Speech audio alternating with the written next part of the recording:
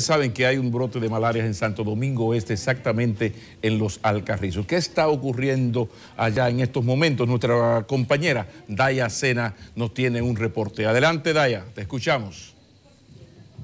Muchísimas gracias y ciertamente nosotros hemos dado estricto seguimiento a los casos de malaria que fueron reportados en Santo Domingo Oeste. Específicamente nos encontramos en Villa Verde donde aún permanecen los focos para la creación de estos mosquitos que reproducen la enfermedad y pese a que las autoridades han asegurado de que ya les van a entregar mosquiteros y van a venir a realizar las jornadas de saneamiento, no se han visto por el lugar desde el pasado martes. Esto es motivo ya que los comunitarios tomen palas y rastrillos, además de machetes en manos para que hagan jornadas ya comunitarias de higiene y limpieza sin ayuda de ningún ministerio. Vamos a conversar con uno de los comunitarios que siempre ha estado al frente de esta sociedad para que nos cuente ya, ya han tomado la decisión de que sea por ustedes mismos toda la higiene del lugar.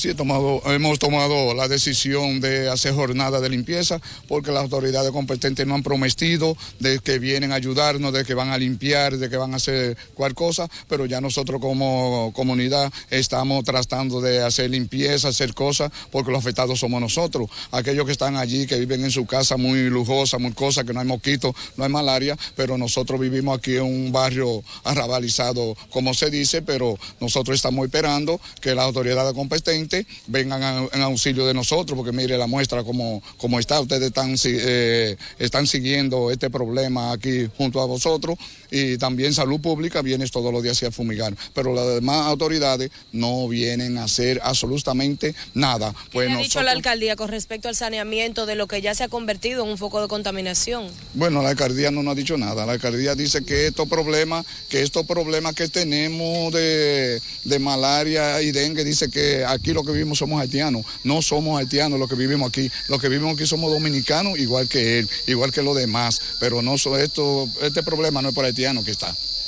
Muchísimas gracias. Vamos a conversar también con otro comunitario que tiene una de las quejas. Aquí frente a cámaras, cuéntenos qué tan difícil ha sido vivir estos últimos meses con esta enfermedad. Bueno, los políticos aquí nomás vienen a, prometer y cuando ganan ni se acercan por aquí y nosotros lo estamos pasando todo aquí. No tenemos ayuda de nadie, estamos huérfanos de, de toda la autoridad, de todo. No, tenemos, no tenemos alcaldía, no tenemos presidente, no tenemos, no tenemos a nadie aquí. Aquí la estamos pasando toda y no tenemos, nosotros hemos pasado a veces, para uno salir allá afuera, hasta ni los vehículos quieren entrar porque aquí los atracos, los ladrones, aquí hay de todo, puente de droga, aquí hay puentes de todos, aquí en esta empresa. Aquí, desde que den la sede de la, de, la, de la tele, uno tiene que trancarse, porque no tenemos parte, no tenemos nada de preso que estamos aquí, no tenemos Se había dicho también que les habían entregado algunos mosquiteros. En ningún momento han entregado nada aquí. Promesa todo el tiempo, todo el tiempo. Yo tengo 20 años aquí. Aquí no viene a prometer, pero aquí no han hecho nada. ¿Qué medidas van a tomar ustedes a partir de ahora? Bueno, nosotros estamos tratando de que ya que usted nos está dando vueltas, ya la esperanza de nosotros es de ustedes que nos ayuden a ver lo más que podemos llegar, porque nosotros no sabemos qué, qué camino vamos a llegar.